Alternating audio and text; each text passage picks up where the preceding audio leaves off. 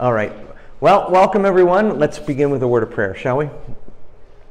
Father, we thank you for the privilege we have tonight to worship you through the study of your word.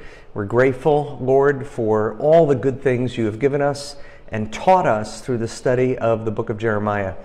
Lord, today as we wrap up Jeremiah as a study, we pray that the teachings that pertain to us, that we need personally, would be remembered.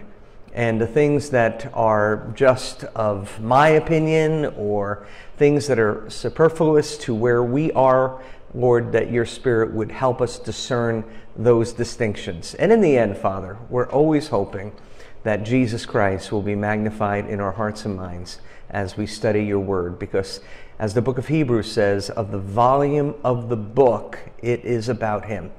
And so, Father, tonight we pray that even in Jeremiah we will see Jesus. We pray this in Jesus' name. Amen. So, Brother Wilson has another question. Is it recording now? Yes. So, um, a few quick uh, preliminary words. This is my last midweek Bible study class. I've been doing them for 18 or so years here at the church, have gone through probably two thirds of the Bible. Um, there's a lot of books, you know, I could still go on if I was uh, staying here, but um, I intend to do it when I get to Nevada, but I don't know when that'll start. However, I do have a piece of, you know, interesting news. My wife has put together for me a YouTube page, which has the, the Bible classes, this one and past, at least the video ones. I don't think I, the audio ones are here. But uh, all you have to type in on YouTube is this phrase midweek Bible class with Pastor Steve. And it pops right up. You'll see my handsome mug there. You know, um, this picture was taken when I had a few more hairs, you know, on my head. But um, anyway, so if you ever want to like look at an old series or something like that, you're welcome to go to that YouTube page. Um, and you will have, you know, a couple that will be missing one like ch- chapter because the projector didn't work or uh, Pastor Nathan did it instead or Peter did it instead. So those are a few of those that are you know intermixed in there. But by and large, uh, this is uh, several years worth, and uh, my wife was kind enough to put that together. But this is not a church page. This is just Steve's uh, YouTube page. And again, all you type in is midweek Bible class with Pastor Steve on YouTube, and it pops uh, right up. So keep that in mind. Also, I'm going to, yes. Say it again. I think so. That was video. Um, the question was for those watching online: Is Isaiah on there? And I believe I believe it is. Um, the other thing is, I find I, I, I should say, I am going to find, I believe, that I may have more opportunities to hang out with some of you folks in Nevada than here. My point is, here, you know, there's 2,000 people in the church, and, you know, I have lunch with a couple of them, you know, here and there. But when people visit Nevada, like Marianne D'Antona went to visit Nevada last week with her daughter Faith, who was in some horse event and she went out with lunch with Michelle. She hasn't done that here, you know. And so they had a lovely time. Las Vegas happens to be kind of like a crossroads of the United States. Whether you gamble or not, people just have conventions and you know things that they do. They want to visit Hoover Dam or you know that kind of thing. I am 25 minutes from the airport in Las Vegas. Um, I am 25 minutes from Hoover Dam, you know, it's accessible. And so if you, I'm on Facebook, if you want to friend me on Facebook, you can be uh, kept up to speed as to uh, what's going on in my life. And my uh, email is pretty easy. The, the, church email will eventually disappear, which is steve at shelterrockchurch.com. But my personal email is pretty easy. It's steve, S T E V E, Tom, six, uh, T-O-M, 61, year I was born, at gmail.com. Steve Tom 61 at gmail.com. And once people have been in my life, to me, they're always in my life. I, I don't have this division of I leave behind. You know, I am still friends with people from Illinois when I pastor there. Um, it's the way I am. I'm, I'm wired that way. So if you have a theological question and you feel more comfortable with me than you know whatever someone at the church, feel free to write. You know, I'll tell you what I think, and uh, I'm delighted to keep in touch. So keep those things in mind, Bob. What's the name of the YouTube again?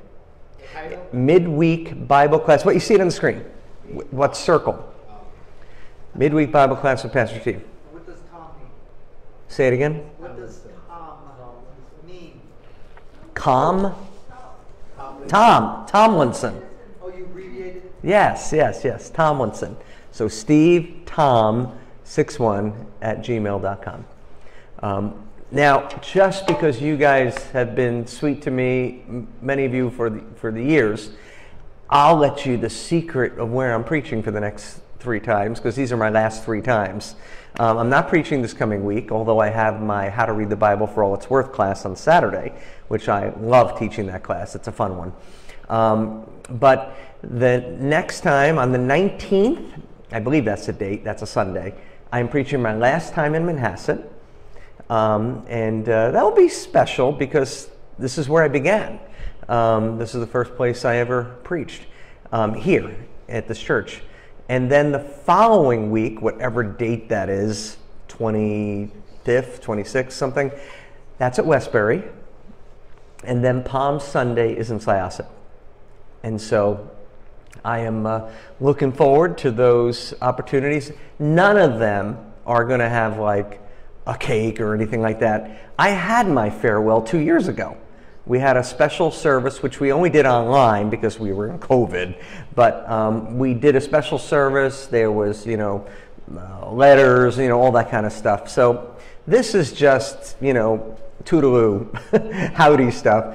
Um, moving on. And Pastor Henry sounds really open about me coming back as frequently as I want to. And I have a son here. So I hope to see you guys, you know, from uh, time to time. What was that? Yeah, yeah, not quite, not quite. Still alive. um, there's a Monty Python. I was sharing this with uh, Pastor Jim. I think it's Holy Grail. It's like, bring out your dead, you know, because it's the plague. But anyway, they're taking this guy and they're putting him on the dead cart, and he goes, I'm not dead yet. oh, and they put him a hammer on his head, and it's like, okay, he's good now. but uh, no, I'm not dead yet. You know, I, I, I still. And I have one other little piece of information, just for informational sake, and that is. Um, you know what's happening when I get there. I don't have a job arranged. There is a church I think could open up. Um, that pastor occasionally listens to my you know broadcast here, so I am not trying to put my uh, uh, cart before the horse. But we've clicked pretty well, and it's a church called Lake Mead Church uh, in Henderson. Um, and uh, I would be kind of a discipleship pastor. And he loved the idea of the uh, online Bible study. And so he said, I'd love to have that here in this church. And if it does come there, I will let people know on Facebook and things that the Bible class is returned and um, it is available to be watched. He seemed very open to that. Um, but again, I'm not assuming he's going to um, take me on. But I would, I would like the church because of a couple things. It's a half mile from my house, which is pretty convenient.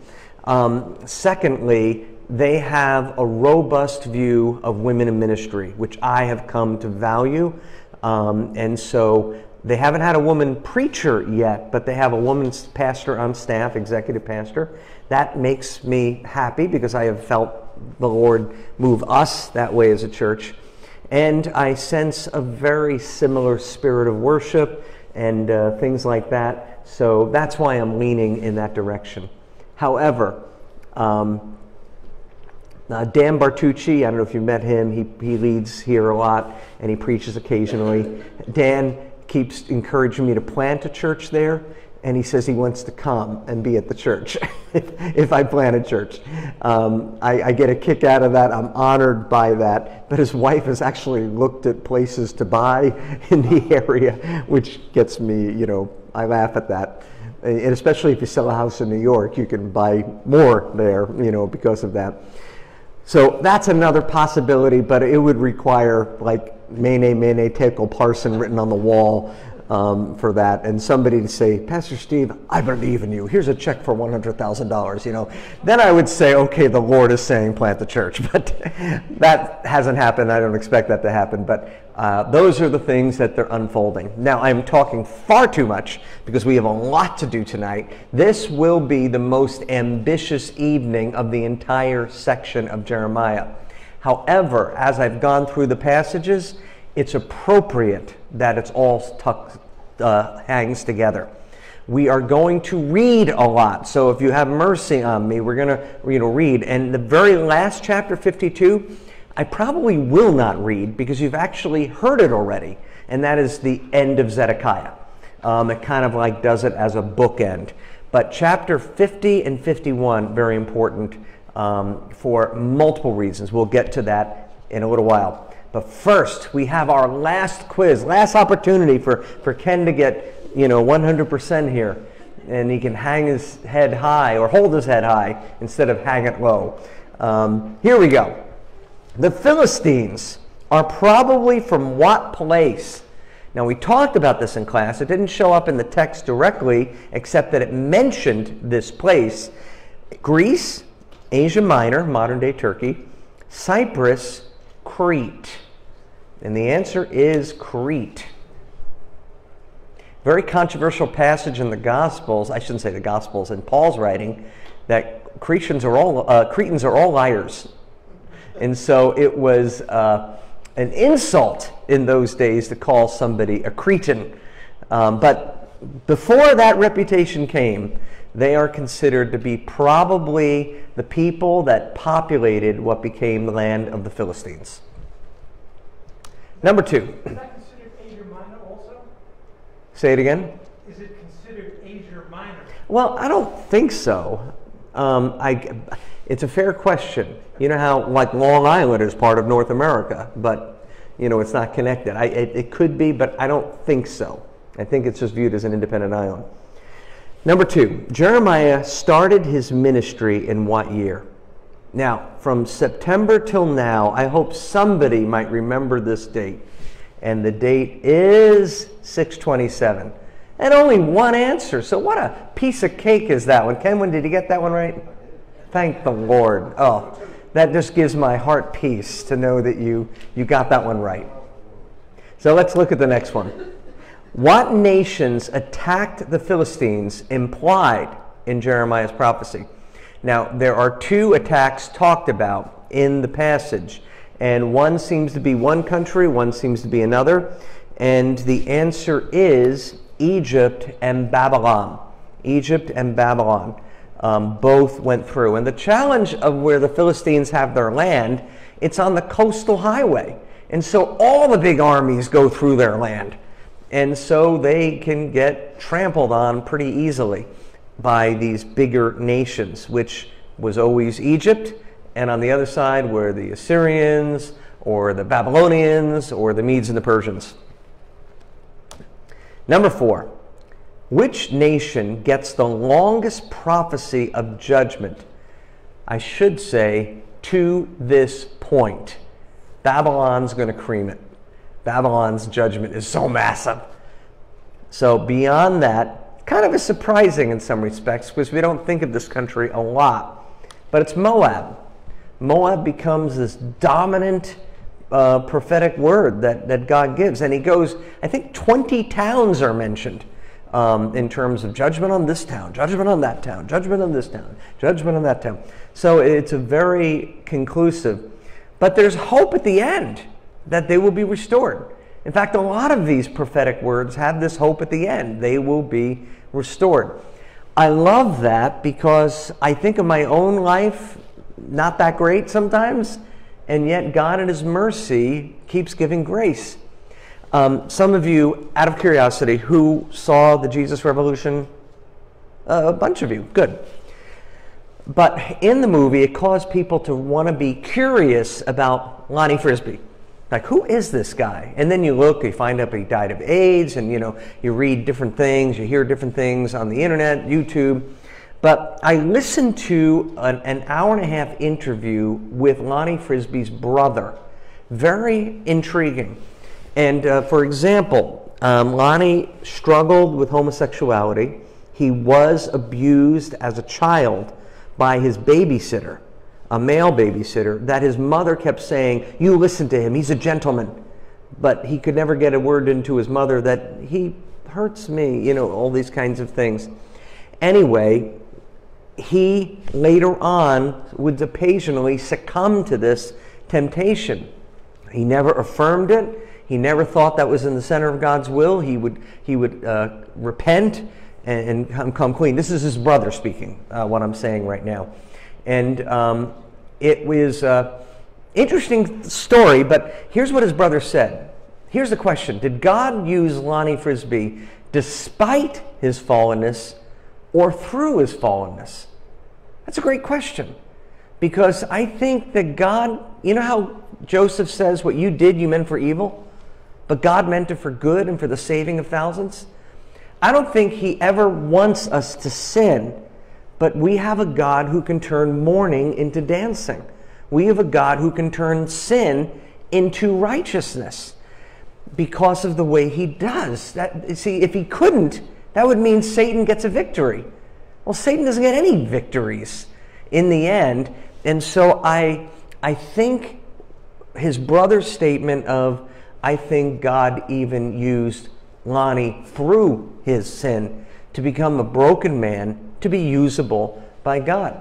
And when you look at the, the movie, the movie is, of course, a snapshot of uh, a year and a half in, in Lonnie's life, but he's clearly a catalyst for something amazing that happened in terms of the, the Jesus movement. And how this has to do with Moab, I cannot remember for the second. Oh, I know what it is. I know what it was. That God says he's going to restore them. So even though they're going through judgment, there will be a restoration. Number five, which poor gods have to pack their bags and go into exile or are punished? Chemosh, the gods of Egypt, Molech, Zeus. And the answer is all of them except Zeus. Zeus does not play into the Bible.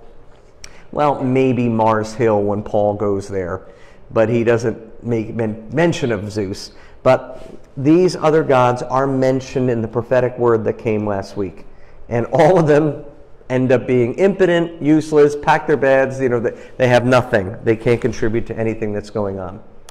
Number six, the primary lessons of Jeremiah 46 to 49.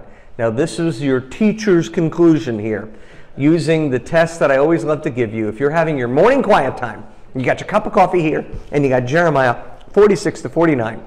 And you go, oh my goodness, I don't get any of this. I don't have any blessing today before I go to work. Hold on. Ask the Holy Spirit to give you something. And so, what is it? The Lord is Lord over all nations. Pride comes before the fall. Babylon will rule over all. Israel has sinned.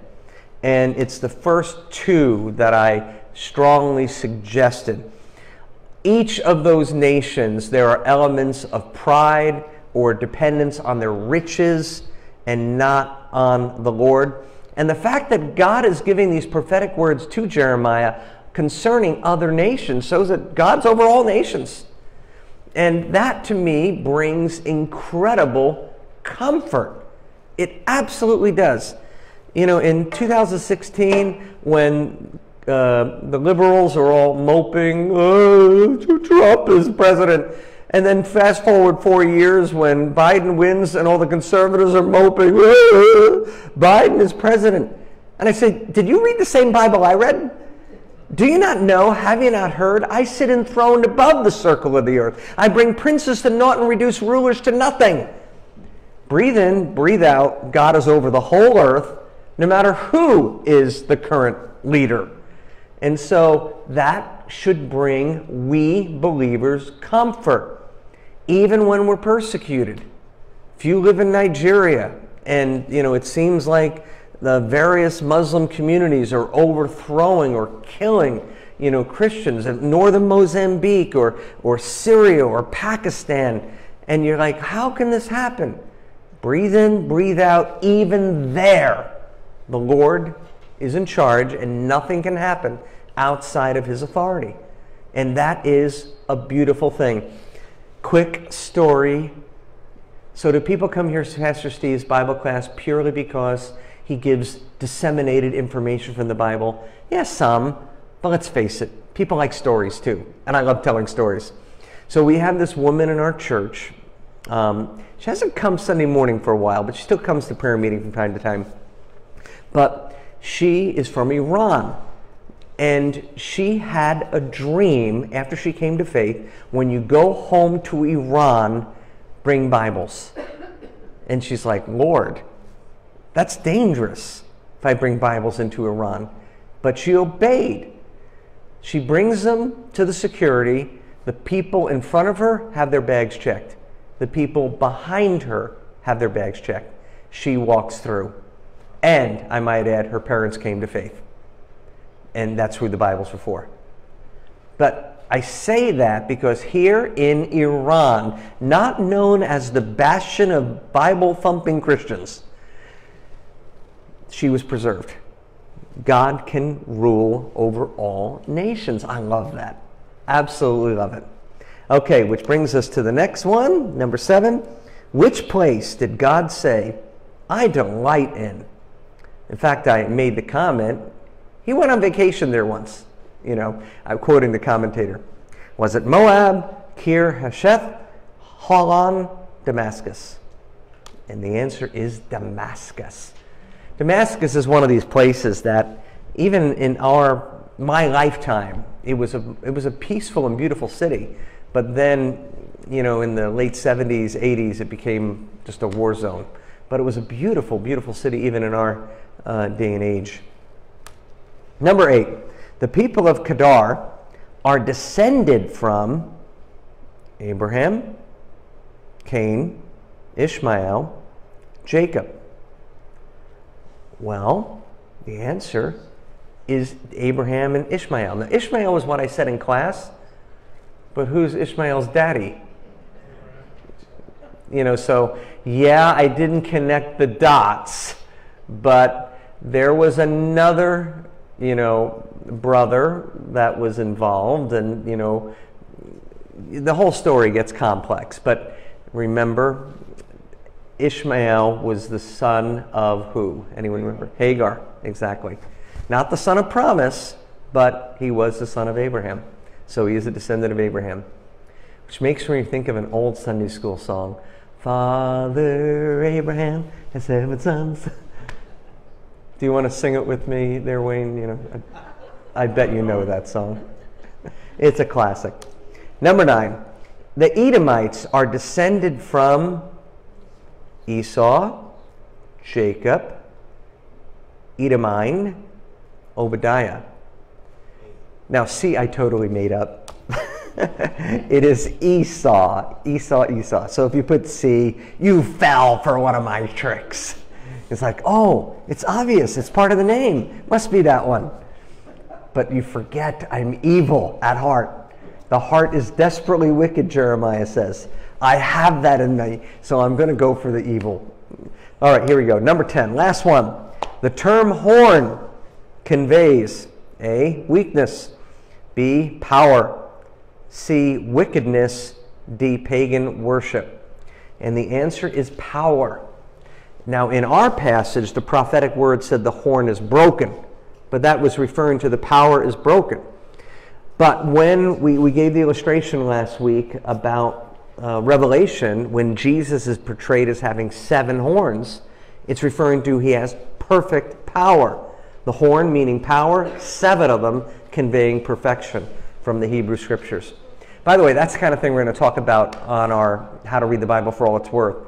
How to pick up little clues like that so we're able to understand what's uh, going on in the text.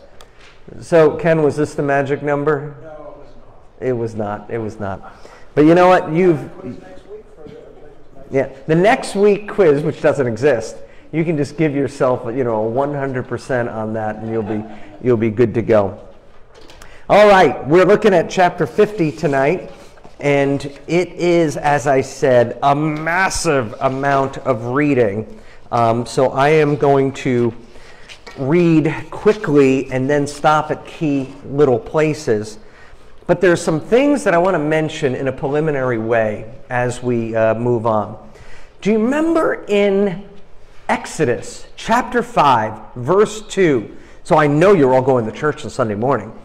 And you probably heard when Pastor Henry taught on this. Pharaoh asked an incredible question. It was a great question. It was the kind of question that if you're a small group leader, you're like so glad that the person asked that question. It was, Who is the Lord? Now he added the extra line, Who is the Lord that I should listen to him? And you know what he's going to find out? I'll tell you who the Lord is. He's the Lord who brings flies. He's the Lord who turns the Nile into blood. He's the Lord. And you just go down the line. That's who the Lord is. And by the end, he certainly knows who the Lord is as the Red Sea swallows up all his soldiers. But in that sense, these two chapters are going to answer who is the Lord. We're going to see that um, wonderfully described. The next one is who is the Lord like or what is he like? People want to know what is God like? And this passage helps us understand that. Now, there's another part of this. Egypt, you know, you go through Exodus here as a church. Egypt becomes a metaphor for so many things. It becomes a metaphor for sin. It comes, becomes a metaphor for rejection of God. In Deuteronomy 17, the Lord says to future kings that won't even be around for hundreds of years, don't go back to Egypt for horses. So it's, it's a metaphor for getting more wealth.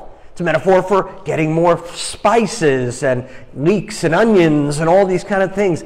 It becomes a very powerful metaphor. From this point on, Babylon becomes a very important metaphor. Now, which book in the New Testament is going to really pick up on this metaphor? It's the book of Revelation. And these two chapters are where John is going to get his metaphor for what he sees in his vision when he sees the, the whore of Babylon. These chapters help us see that. So we're not just looking at two chapters that describe Babylon as this mean nation that's going to get its comeuppance. Babylon will now have significant influence in terms of how we even see. Like Egypt connects to sin, Babylon connects to sin. How Egypt needed to be crushed, Babylon was going to be crushed. But in some respects, Babylon even takes on a greater life because it's going to speak in Revelation about the culmination of all events when God brings justice to this broken world. He's going to turn this world, which right now feels completely upside down, and he's going to turn it right side up. That's the whole point of the book of Revelation. The book of Revelation, even though it seems confusing to many people, at the end of the day, is a book about hope. It's saying that everything you open your eyes, read in your newspaper, watch on TV, that you know is wrong, he's going to fix. He's going to fix it all. And part of the metaphor that John will use is from these two chapters. So here are six major themes that come from Jeremiah 50 and 51. Um, and, and I'm just kind of giving you this so you can get the big picture idea. The violence of Babylon will be avenged. The violence of Babylon will be avenged. So God's going to fix this. The arrogance of Babylon will be brought low. I mean, Babylon was top of the world. They will be brought low. The gods of Babylon will be powerless to save them because they are not gods. The land of Babylon will be devastated by enemies from the north. The fall of Babylon will signal the restoration and return of Israel. And finally, the fate of Babylon carries cosmic significance. That's what we just talked about in terms of, you know, the book of Revelation. Now, some of you are thinking to yourself, there are no more quizzes. I don't have to remember these at all. So just just teach away, Pastor Steve. I'll, I'll try to pay you know pay attention as I'm sleeping here. Now here's the thing. I grant you, if I was in your place, I might not be taking a note down on these, but I might take note of something that I need to hear. Because the reason why we even have this class is not to do good on quizzes, it's to do good on life. That I might love my children more, love my fellow man more, love my wife more, become a good citizen, and of course, mostly honor the Lord my God with all my heart, soul, and strength. That's really what it comes down to. And so, I had told you previously that Jeremiah finished his last reading or last prophecy when he gave the one about the people staying in Egypt. Don't do it. Go out. If you stay here, you'll be destroyed. That was his last prophecy on the timeline. This is probably in a letter that he wrote to the exiles in 594 BC. 594 BC. Now, put your thinking caps on, boys and girls. What year was it, Jerusalem finally destroyed? The temple and everything in it? 587. Excellent. Amen. You know, it gives, it gives a teacher chills up and down the spine when somebody actually remembers that. Right, Barbara? I mean, it, it's exciting. It's like, wow, somebody learned something. It's good. Feels good. But when we uh, look at this date, it's well before then. Now, here's what's interesting Jeremiah is getting accused of treason because you need to surrender, you need to go to Babylon, and Zedekiah and the others are saying, This guy has to die. What's going on with this? He's treasonous. But this is well before the final occupation Jeremiah sends a letter to the exiles, which we're going to find out at the end. He is to read, roll up the scroll, attach it to a rock, and throw it into the Euphrates. In other words, it's probably dangerous stuff because Babylon probably would not like a prophetic word about its destruction. But that's exactly what Jeremiah gives. This shows that he is not trying to just appease the Babylonians. To the contrary, he just says what God tells him to say. And so, well before the destruction of Jerusalem, Jeremiah prophesies the destruction of Babylon, which is huge. In our day and age, it would be the equivalent of the prophecy of the destruction of the United States, you know, the most dominant world power or something like that. That's what this is the equivalent of. So, this section goes, is going to break down into what I'm going to call six movements. Six movements. And I'll let you know when we get to each of them and what their primary uh, idea is, if, the, if there is a primary idea. With that in mind, um, let's dive into our massive text. This is the word the Lord spoke through Jeremiah the prophet concerning Babylon and the land of the Babylonians. Chapter 50, verse 1. Announce and proclaim among the nations, lift up a banner and proclaim it. Keep nothing back, but say, Babylon will be captured. Bel will be put to shame. Marduk filled with terror. Okay, let's pause there for a moment. Let me introduce you to uh, Bel Merodach, also known as Marduk. So he's the guy on the right with the thunderbolts bringing peace to chaos, which is what that creature in front of him symbolizes. Now, here is a beautiful example of Hebrew poetry. Bel means Lord, Marduk is which Lord? But notice the parallelism in Hebrew poetry. Bel will be put to shame. Marduk filled with terror. Same person. All it is is just poetically separating them because if you were in Babylon, you might call him Bel Marduk or Bel Merodach. And that is how this is going to unfold. Her images will be put to shame and her idols filled with terror. A nation from the north will attack her and lay waste to her land. Now, for Jeremiah, for the entire book, the north becomes a metaphor for trouble coming. Remember at the very beginning of Jeremiah, there was a cauldron of boiling water that is poured out from the north. And it's going to be Babylon will be sweeping over. But for the first chapters of Jeremiah, Babylon was not mentioned, it was just the north.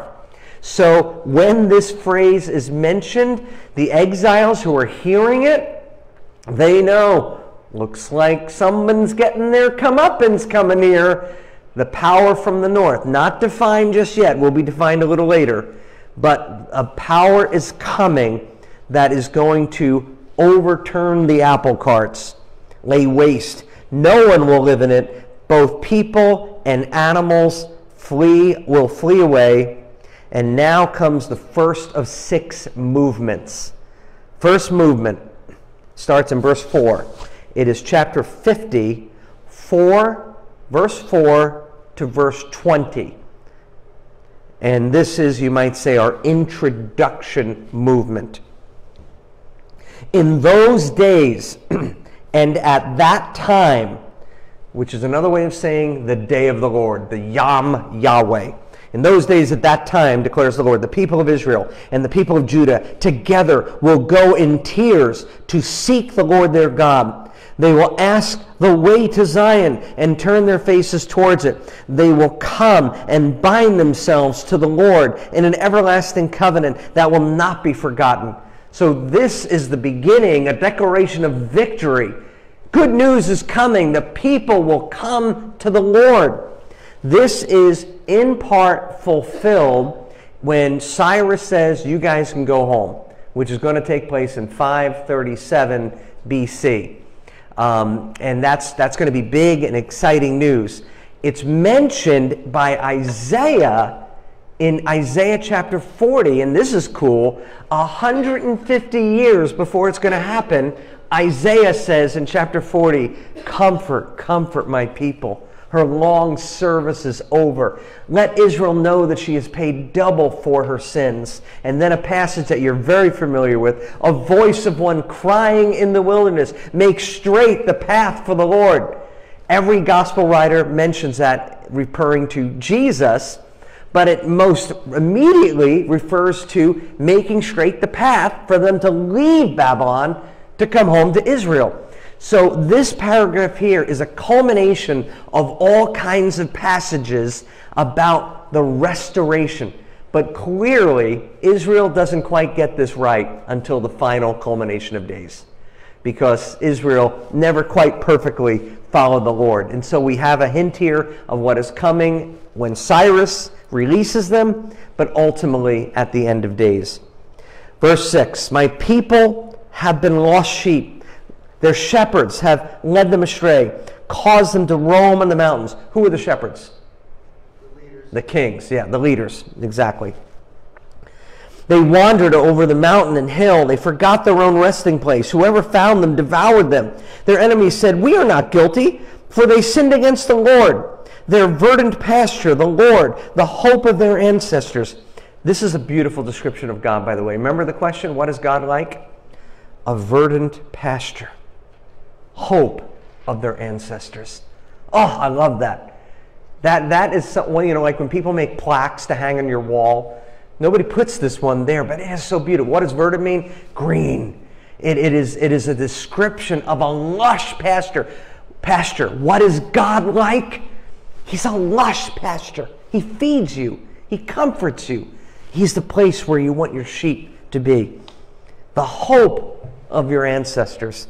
So if you have a believing grandpa, a believing mom, and they had hope in their darkest times, You want that hope. That's what God is like, the hope of your ancestors. Flee out of Babylon, leave the land of the Babylonians, and be like the ghosts that, excuse me, the goats that lead the flock. For I will stir up and bring against Babylon an alliance of great nations from the north, uh, land of the north. They will take up their positions against her. From the north, she will be captured. Their arrows will be like skilled warriors who do not return empty handed. So Babylonia will be plundered. All who plunder her will have their fill, declares the Lord, because you rejoice and are glad, you who pillage you uh, pillage my inheritance. That, now, by the way, this rejoice and be glad is an insult to them, Babylon, because they pillaged the inheritance. Because you frolic like a heifer. This is pride threshing grain, and neigh like stallions. Your mother will be greatly ashamed. She who gave you birth will be disgraced. She will be last, uh, least of the nations, a wilderness, a dry land, a desert, because the Lord's anger will not be inhabited. Because of the Lord's anger, will not be inhabited, but will be completely desolate.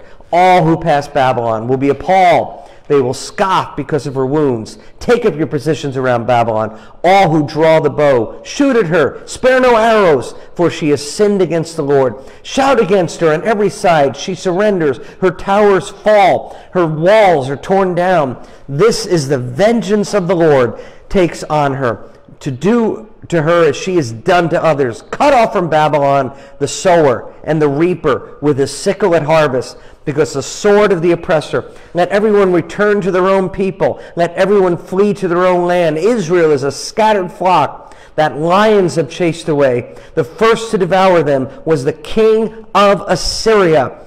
The last to crush their bones was Nebuchadnezzar, king of Babylon. Now I'm going to pause here for a moment because I want to show you various empires. So this was the Assyrian Empire. This is the empire before Babylon. So he mentions here the first to devour them was the king of Assyria. And you can see this, this purple color spread over the land. But just after 722, when the northern kingdom was defeated by the Assyrians, and the Assyrians tried to defeat Judah in 701 and failed, but then it starts getting weaker and at the time of Josiah, he's actually able to make incursions into what was northern Israel because there's no power. Assyria's gotten weak and feeble. But another nation's on the rise, and that is Babylon. And that is what ultimately overcame the Assyrian Empire. And pretty much everything that was Assyria became the Babylonian Empire. Now, quick word the Assyrians are like brutes. They're just kind of like the difference between Sparta and Athens. Sparta was known for its military prowess, but not known for literature. Athens, known for the philosophers, the Epicureans, you know, all these people who are willing to talk about ideas. That's Babylon. Babylon, that's why they brought in the cream of Israel. They wanted to get their knowledge and, and grow and, excuse me, mature. And so that is what this poetry is saying. First Assyria, then Babylon. Therefore, this is what the Lord Almighty, the God of Israel, says I will punish the king of Babylon and his land as I punished Assyria. Like there's no Assyrian empire, the Lord says, okay, you guys are happy, proud, you're going down. But I will bring Israel back to her own pasture and now it gives these beautiful poetic descriptions. They will graze on Carmel they, and Bashan. Their appetite will be satisfied on the hills of Ephraim and Gilead. All these are just depictions, pictures of places in Israel where there's going to be hope and comfort once again. In those days and at that time, declares the Lord. Now, get ready for an amazing verse.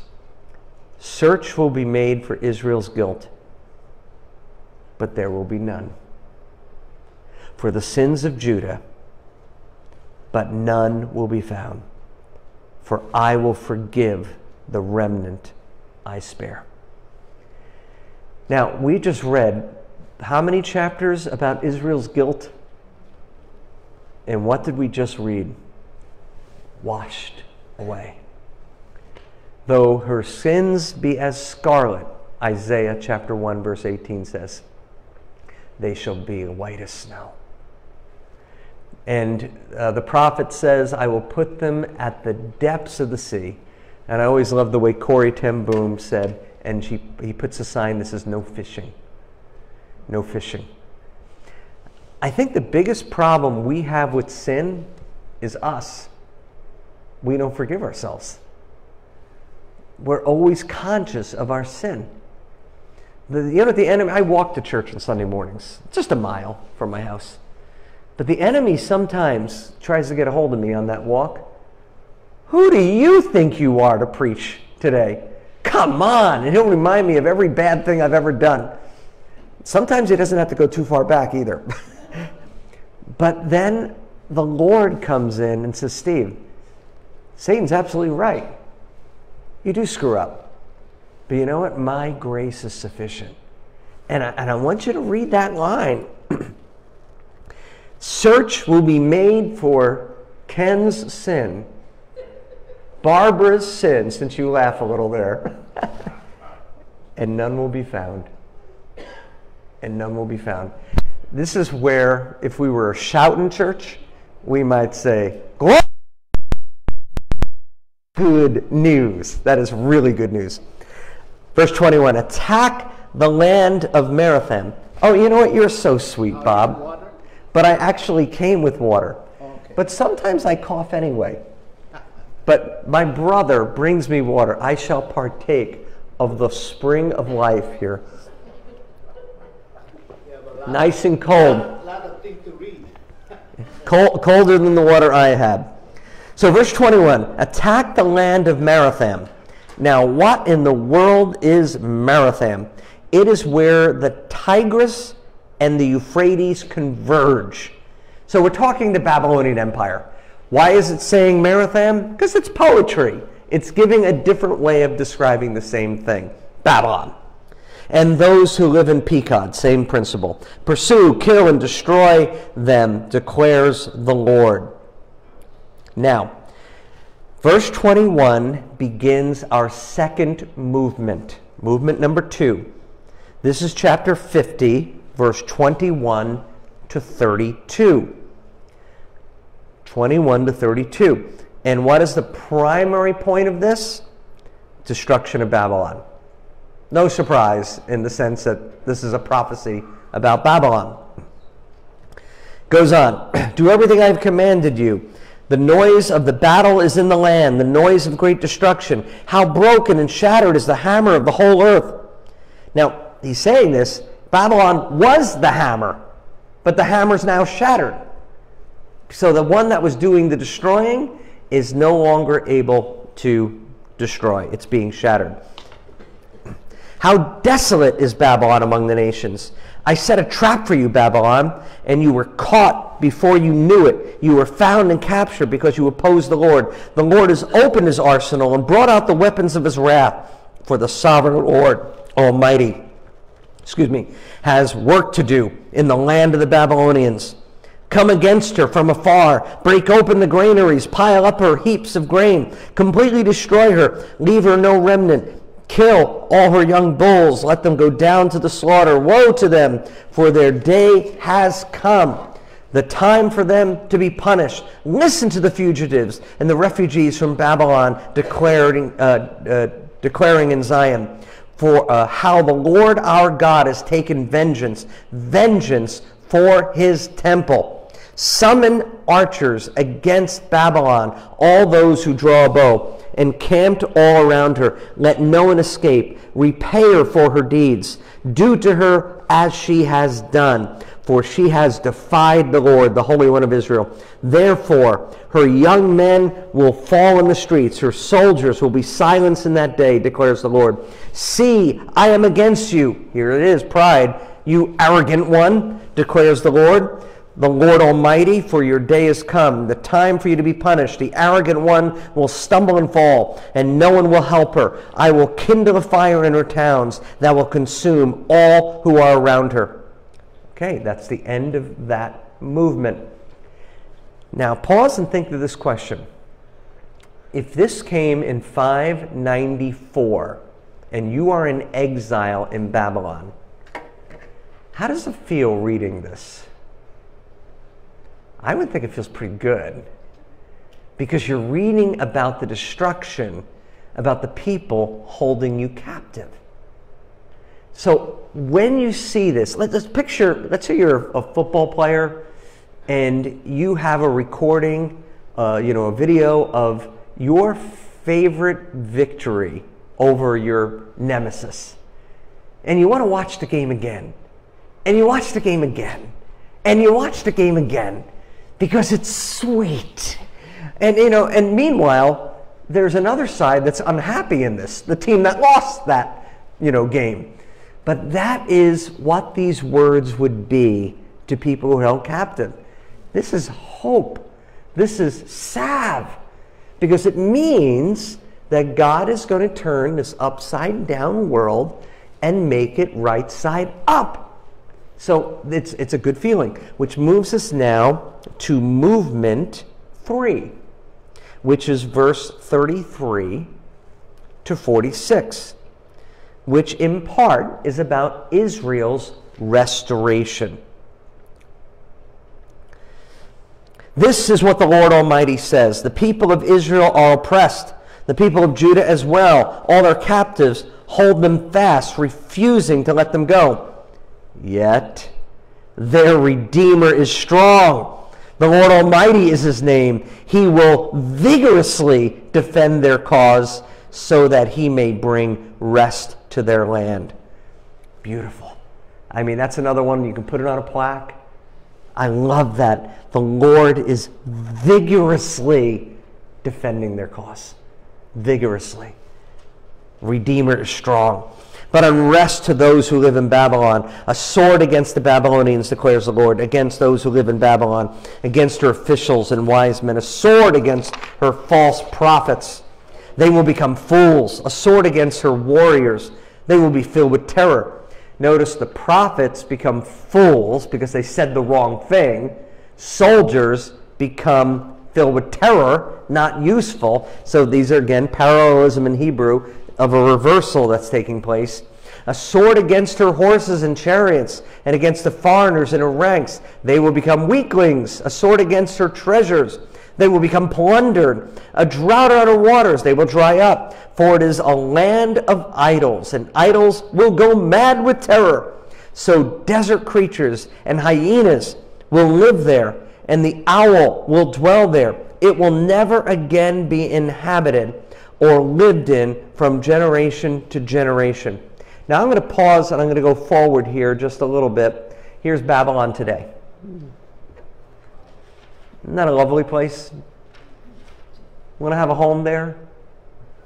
Now, Iraq, when Saddam Hussein was there, tried to make it a tourist attraction. So he built kind of a fake Babylon on the site. So when you go there, you'll see like he kind of tried to restore different elements of the original Babylon, but it's not a place where you live. It's a place where hyenas and jackals live. And so just pointing, you know, where this ultimately unfolds here. Okay, going back. Uh, verse 41. Look, an army is coming from the north a great nation, and many kings are being stirred up from the ends of the earth. They are armed with bows and spears. They are cruel without mercy. They sound like a roaring sea as they ride on their horses. They come like men in battle formation to attack you, daughter Babylon. Once again, that endearment, daughter Babylon. I always find that interesting. God, I think, views all these peoples as his children sometimes in need of judgment, but it is an endearment. The king of Babylon has heard the reports about them. His hand hangs limp. Anguish has gripped him. Pain like that of a woman in labor, like a lion coming from Jordan's thickets to the rich pasture land. I will chase Babylon from its land in an instant. Who is the chosen one I will appoint for this? Who is like me? Who can challenge me? This is the Lord speaking. And what shepherd can stand against me? If God be for us, who can stand against us? The scripture declares in the New Testament. Therefore, hear what the Lord has planned against Babylon. He who has purposed against the land of the Babylonians, the young of the flock will be dragged away. Their pasture will be appalled at their fate. At the sound of Babylon's capture, the earth will tremble. Its cry will resound among the nations. Okay, chapter 51, movement 4. So, movement 4. This is verse 1 to verse 33. And this would be best clarified the tirade against Babylon continues. So it's, in other words, a continuation of the argument. This is what the Lord says See, I will stir up a spirit of a destroyer against Babylon and the people of Lebkamiah. Now, Lebkamiah means in Hebrew, heart of my adversaries. Heart of my adversaries, poetic language of being a balance of the spirit of the destroyers. So the adversaries of Babylon are coming together. I will send foreigners to Babylon to winnow her and to devastate her land. They will oppose her on every side. You've heard this phrase in the past terror on every side, same kind of thing here. In the day of disaster, let not the archer string his bow, nor let him put on his armor. Do not spare her young men, completely destroy her army. They will fall down slain in Babylon, fatally wounded in her streets. For Israel and Judah have not been forsaken by their God, the Lord Almighty, though their land is full of guilt before the Holy One of Israel. Flee from Babylon, run for your lives. Do not be destroyed because of her sins. It is time for the Lord's vengeance. He will repay her for what she deserves. Babylon was a gold cup in the Lord's hand. Remember, Babylon, my servant? Babylon served the purposes of the Lord. Gold cup in my hand. She made the whole earth drunk, and the nations drank her wine. Now, that phrase shows up almost, um, well, let me say it correctly. I've said this to you before. The book of Revelation contains no quotes from the Old Testament, but it alludes to the Old Testament more than any other book in the New Testament. And this is the allusion now. This is Revelation 18. After this, I saw another angel coming down from heaven. He had great authority in the earth, and it was illumined by his splendor. With a mighty voice, he shouted, Fallen, fallen is Babylon the Great. She's become a dwelling for demons, the haunt of every impure spirit, a haunt for every unclean bird, a haunt for every unclean and detestable animal. For all the nations have drunk the maddening wine of her adulteries. The kings of the earth committed adultery with her. The merchants of the earth grew rich from her excessive luxuries. Now, you're reading Revelation for the first time, and you've never read the Old Testament, or at least you haven't read the book of Jeremiah. But if you read Jeremiah, this prophetic word pops. And what it means is that God is coming to bring that which is unrighteous down in judgment and to elevate that which is righteous. And so, just reading Revelation, I'm like, why is he bringing up Babylon suddenly? You scratch your head and you're like, I don't understand what John is doing. But the person next to you, who has been in Pastor Steve's Jeremiah class, is going, ah, let me explain this to you. Let me make it clear to you. As Pastor Steve's head expands and becomes full of pride, and God has to bring me low, so we must move on. All right, here we go. Nations drank her wine, therefore they have now gone mad. Babylon will suddenly fall and be broken. Fallen, fallen is Babylon. Revelation. Wail over her, get balm for her pain. Perhaps she can be healed. We would have healed Babylon but she cannot be healed. Let us leave her and each go to our own land. For her judgment reaches to the skies, it rises high as the heavens. The Lord has vindicated us. Come, let us tell Zion what the Lord our God has done. Sharpen the arrows, take up the shields. The Lord has stirred up the kings of the Medes. Okay, this is your answer. This is the people of the north that are now being given a name. It's the story of the Medes and the Persians and the conquest. So you see in the map here the Babylonian Empire. This is the empire of the Medes and the Persians. This is what will take over.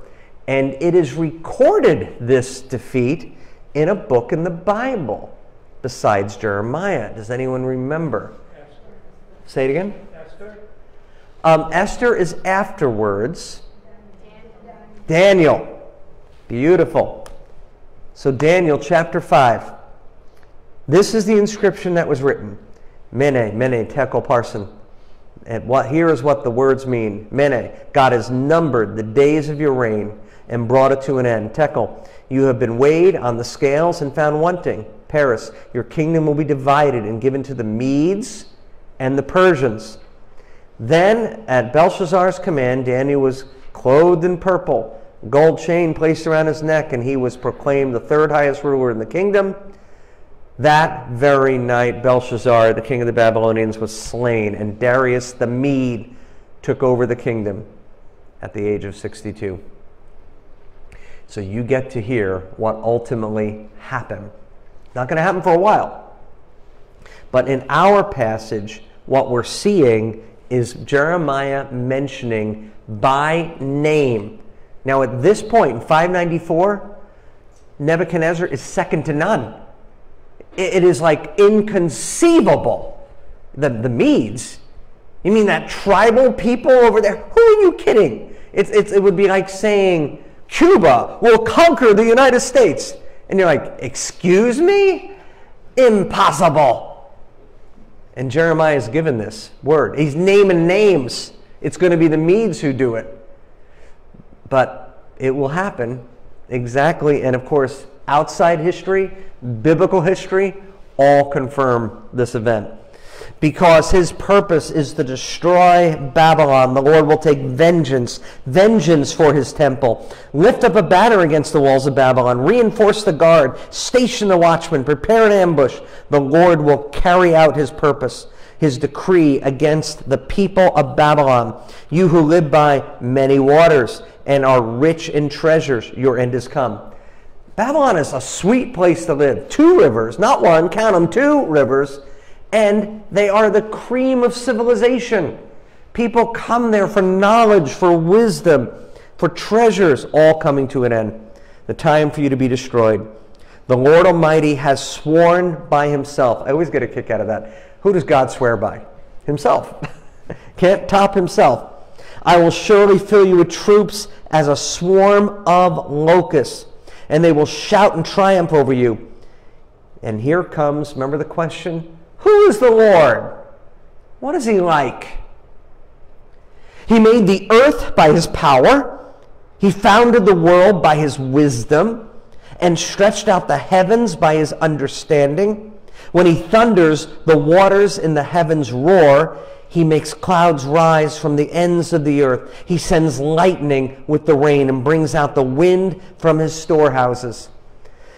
This is a paragraph that I would say is contrary to the idea of, for example, evolution, which is, you know, it just happened this way by fate, by accident, by just the concurrence of different things. No.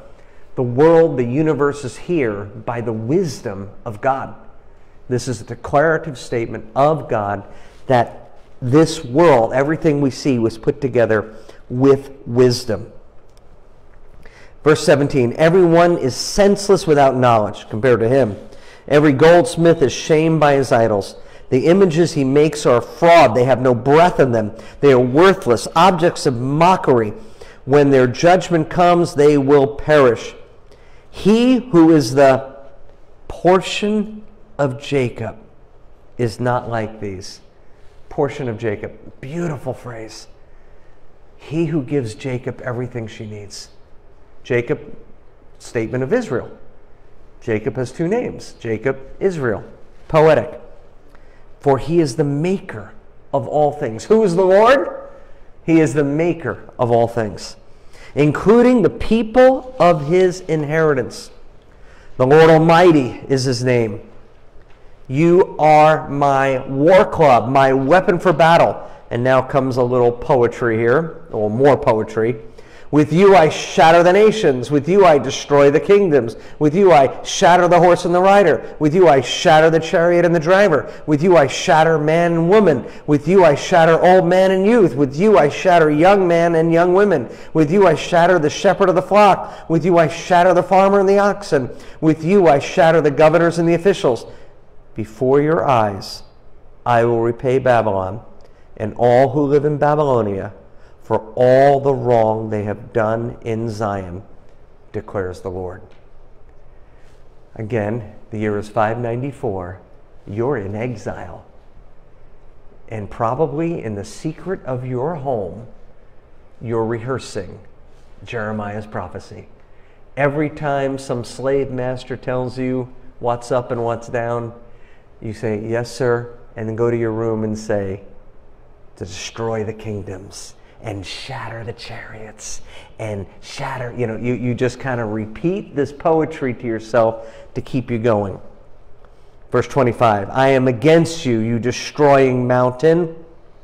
Jeremiah had called in the past Babylon a mountain, who destroy the whole earth, declares the Lord. I will stretch out my hand against you and roll you off the cliffs and make you a burned out mountain.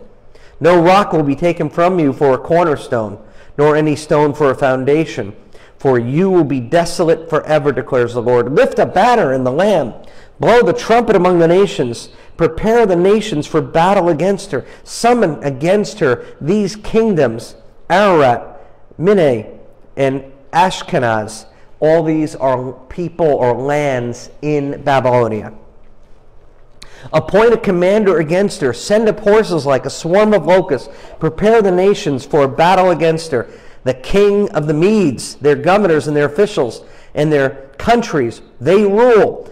The land trembles and rees, for the Lord's purposes against Babylon stand to lay waste the land of Babylon so that no one will live there. Babylon's warriors have stopped fighting. They remain in their strongholds. Their strength is exhausted. They have become weaklings. Her dwellings are set on fire. The bars of her gates are broken. One courier follows another. The messenger follows the messenger to announce to the king of Babylon that his entire city is captured. The river crossing seas, the marshes set on fire. The soldiers terrified. This is what the Lord Almighty, the God of Israel, says Daughter Babylon is like a threshing floor. At a time it is trampled. The time to harvest her will soon come. Which moves us now to the fifth movement, which is chapter 51, verse 34 to 44. 34 to 44. Now, at this point, this is the first time poetically the exiles themselves get to speak. So this is their voice crying out. Nebuchadnezzar, king of Babylon, has devoured us. He has thrown us into confusion. He has made us an empty jar. Like a serpent, he has swallowed us and filled his stomach with our delicacies, and then has spewed us out. May the violence done to our flesh be on Babylon, say the inhabitants of Zion. May our blood be on those who live in Babylonia, says Jerusalem. Therefore, this is what the Lord says. So the exiles say that, and now the Lord speaks. See, I will defend your cause and avenge you. I will dry up her sea and make her springs dry. Babylon will be a heap of ruins, a haunt of jackals, an object of horror and scorn, a place where no one lives. Her people all roar like young lions. They growl like the lion cubs. But while they are aroused, I will set out and feast for them and make them drunk The one who makes others drunk is now going to be made drunk, so that they shout with laughter. By the way, do you remember the setting of Mene, Mene, Tekel, Parsin? They're all getting wasted with the dishware the, the, the, from the temple. I will make them drunk with laughter, then sleep forever and not awake, declares the Lord. I will bring them down like lambs to the slaughter, like rams and goats. How Sheshach has been captured. Sheshach is a cryptogram. What in the world is a cryptogram? It's a text in code. A text in code. But we know the answer. It means Babylon. It's a poetic way, again, of picking on Babylon. But you know what? You know, when you write a paper and you use one word too many times, you know what your professor does? He circles or she circles the word and says, find another word. Get yourself a thesaurus, okay? Jeremiah had a good thesaurus. You know, so when he's writing his poetry, he wants to use words that make it pop out. The boast of the whole earth seized how desolate Babylon will be among the nations. The sea will rise over Babylon. Its roaring waves will cover her. Her towns will be desolate, a dry and desert land, a land where no one lives, uh, through which no one travels. I will punish Bel. Now we know who Bel is. Bel Marduk or Molech, uh, Marduk, excuse me. It just Bel means Lord, but poetically here, I'm going to punish the god of Babylon and make him spew out what he has swallowed. The nations will no longer stream to him, and the wall of Babylon will fall, as it did. Which brings us now to the last movement, which is verse 45 to 53. How they define these movements, by the way, because you know Jeremiah is not calling these movements. It's a literary observation. You're seeing how the tone changes, and so you see it flows in different ways. So here comes our last movement. This is kind of a hodgepodge of a variety of things, so it doesn't really have a title per se. Come out of her, my people. Run for your lives. Run from the fierce anger of the Lord. Do not lose heart or be afraid. When rumors are heard in the land, one rumor comes this year, another next, rumors of violence in the land and of ruler against ruler. For the time will surely come when I will punish the idols of Babylon. Her whole land will be disgraced, and her slain will all lie fallen within her. So the day is going to come as we're getting close to 537 that we're going to hear about there's rumblings of other countries, rumors of things going to happening, and they will hold to that and know that God is about to make his, his move. Verse 48 Then heaven and earth and all that is in them will shout for joy over Babylon, for out of the north destroyers will attack her, declares the Lord. Babylon must fall because of, because of Israel's slain just as the slain of the earth have fallen because of Babylon. You who have escaped the sword, live and uh, excuse me, leave and do not linger. Remember the Lord in a distant land, the call and call to mind Jerusalem. So that is a call for the exiles to not forget the Lord, even though they're in a foreign land. Remember the Lord in your distant land. We are disgraced. This is a quote, for we have been insulted, and shame is on our faces because foreigners have entered the holy places of the Lord. That was the exile speaking. But the days are coming, declares the Lord, when I will punish her idols, and throughout her land the wounded will groan. Even if Babylon ascends to the heaven, and fortifies her lofty stronghold. I will send destroyers against her, declares the Lord. The sound of a cry comes from Babylon, the sound of great destruction from the land of the Babylonians. The Lord will destroy Babylon. He will silence her noisy din. Waves of enemies will rage like great waters. The roar of her voices will resound, and destroyer will come against Babylon. Her warriors will be captured, and their bows will be broken. For the Lord is the God of retribution. He will repay in full. I will make her officials and wise men drunk, her governors and officers and warriors as well. They will sleep forever and not awake. Now, we've heard this before. This is kind of a bookend for that. Declares the king whose name is the Lord Almighty.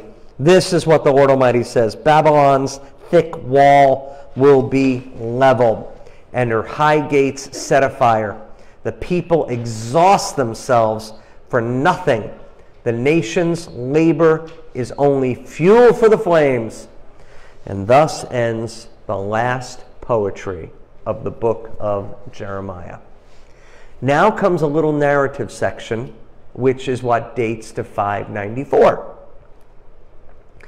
This is the message Jeremiah the prophet gave to the staff officer Seraiah, son of Neriah, son of uh, Mahseiah, when he went to Babylon with Zedekiah, king of Judah, in the fourth year of his reign. That's how we got the, the year of his reign. Jeremiah had written on a scroll about the disasters that would come upon Babylon, all that had been recorded concerning Babylon. He said to Seraiah, When you get to Babylon, see that you read all these words aloud. Then say, Lord, you have said you will destroy this place, so that neither people nor animals will live in it. It will be a desolate forever.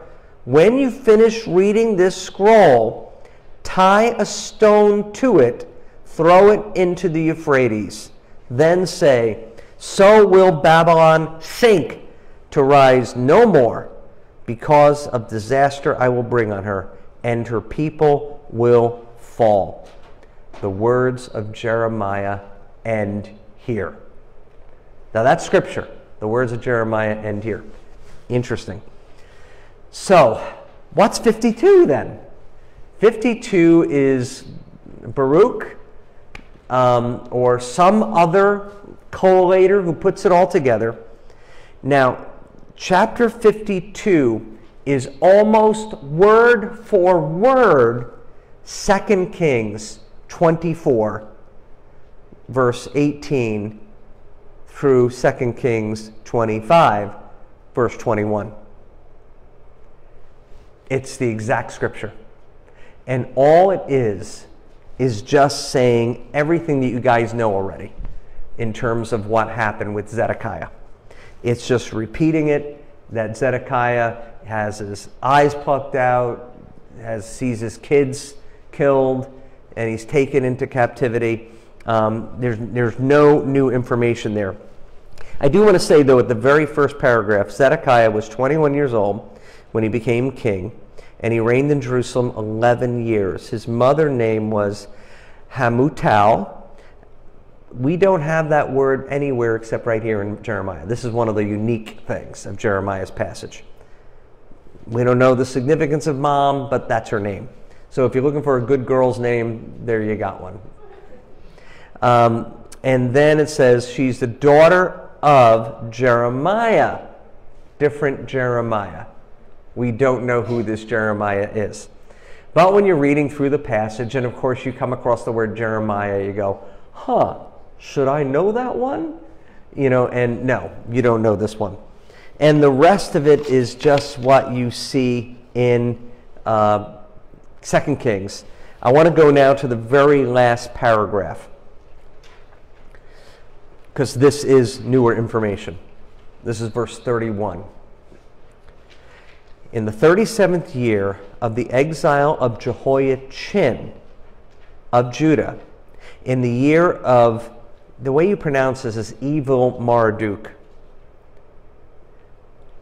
became king of Babylon on the 25th day of the 12th month, he released Jehoiachin, king of Judah. The year is now, by the way, 562 to 560 BC. So about, you know, 25 years after the destruction of the temple.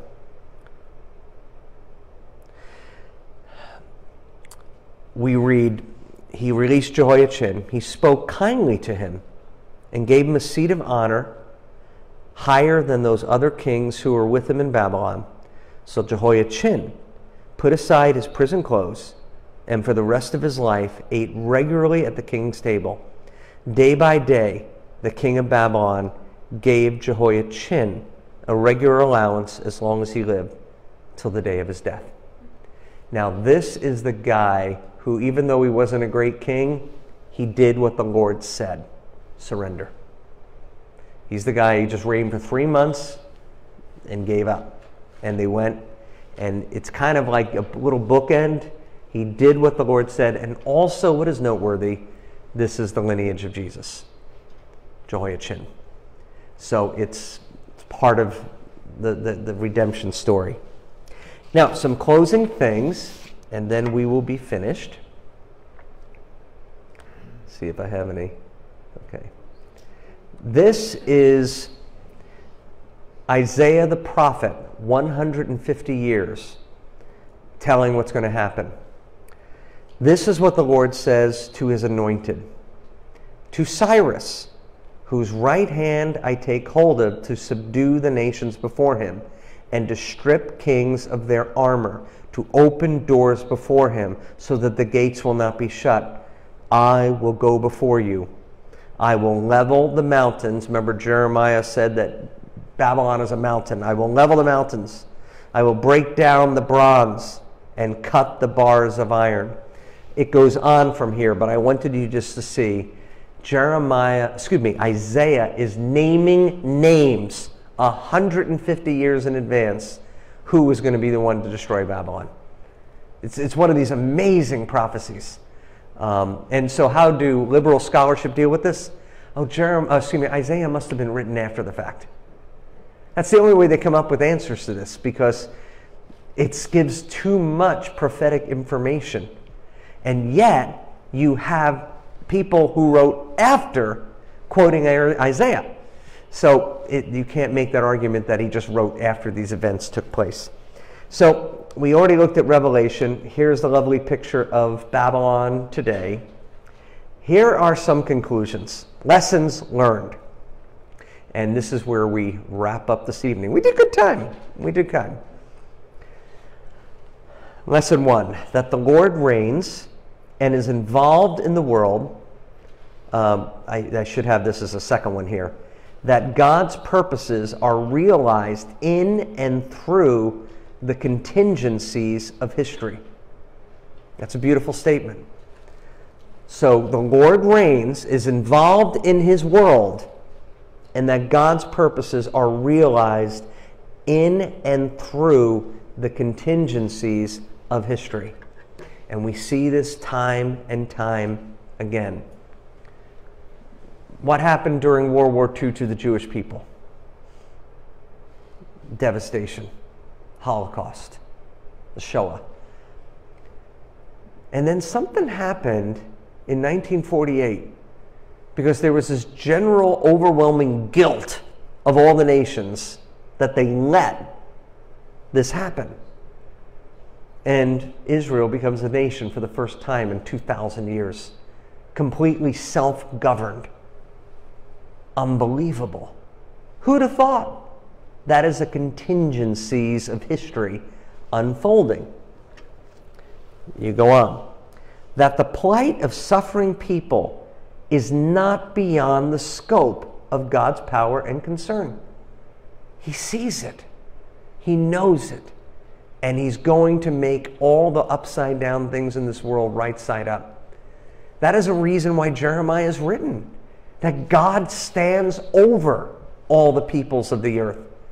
And he ultimately brings justice. Yes, justice to his own people, but justice ultimately to the world. And, and by the way, that's the heart of the cross, Calvary. That the wrath of God had to be paid, but he allowed it to be paid upon his own son himself. That God neither forgets nor ignores those whose lives are full of pain and brokenness. He knows it, he sees it. That God acts on behalf of those who cannot defend themselves. That unjust and oppressive power structures will not endure. That raw power is not ultimate reality it's going to come crashing down. that acts of callous disregard for life do not impugn divine justice, that God holds all people responsible for their actions, regardless of military muscle or religious claims. And finally, that God's salvation extends beyond the borders of any one people. God is in charge. So, as we wrap up, okay, I'll leave that there for you, brother, brother Wilson. As we wrap up Jeremiah, I will admit, 18 years ago when I started teaching the Bible verse by verse here at the church, this was like the last book on my list that I wanted to do. Now, I was fearful of teaching Revelation, and I did teach Revelation, but I was fearful because it's so hard to figure out things, and you know, I have to really study. It's like a lot of work for we pastors.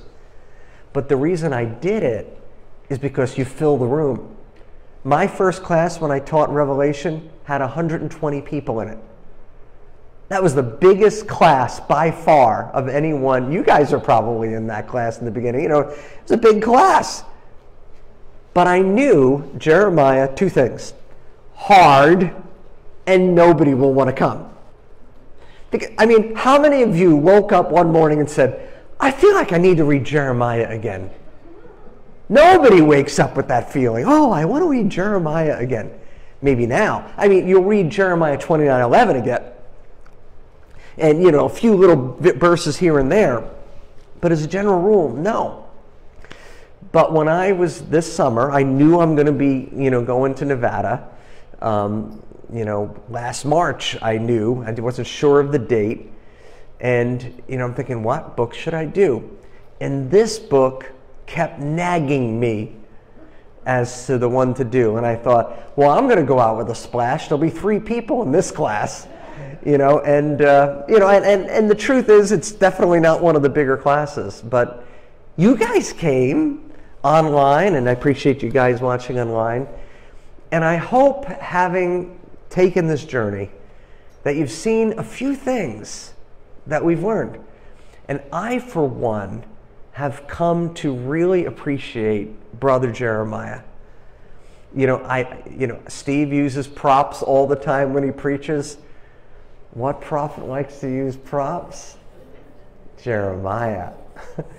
you know, I, I see things of that passion. If I say I will not mention him or speak any more in his name, his word is my heart like a fire, a fire shut up in my bones. I am weary of holding it in. Indeed, I cannot. My people have committed two sins. They have forsaken me, the spring of living water, and they've dug for themselves cisterns, broken cisterns that cannot hold water. Call unto me and answer me, and I will, and I will answer you and show you great and mighty things thou knowest not. You know, all these amazing verses, which now you've heard in context. And it gives us something by which we can live our lives. The most famous one of all, Jeremiah 29 11, for I know the plans I have for you, written to the exiles, a people broken, devastated. And God says, I got a plan. And you'll see that plan soon enough. Anyway, final statement. It's been a blast teaching you guys. Thank you for, for being good students. And uh, maybe we'll see you online or something else. Thank you. Let's pray. Father, we thank you for the chance we've had to not only teach tonight, but to teach through Jeremiah. And I want to thank you personally for the chance to just teach through so much of your Bible. Father, some things I probably got right, a lot of things I got wrong. But one thing I always had is you at my back, your Holy Spirit, to lead us into all truth.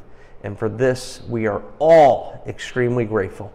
Now, Lord, as Jeremiah prophesied that you will make the path straight before us, I pray, Lord, that you will do that in our own lives. We pray this in Jesus' name. Amen. God bless. Thank you, guys.